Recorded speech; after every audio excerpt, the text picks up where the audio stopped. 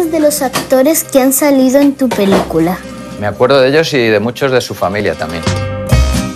¿De todos? De todos. Si Entonces te acordarás de mí. No, de ti no.